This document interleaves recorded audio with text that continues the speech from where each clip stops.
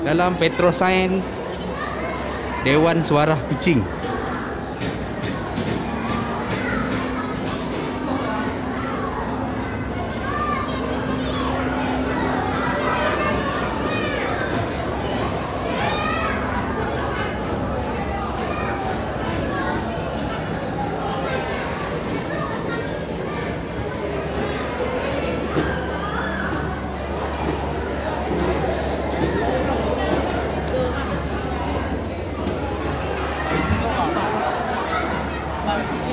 I don't know.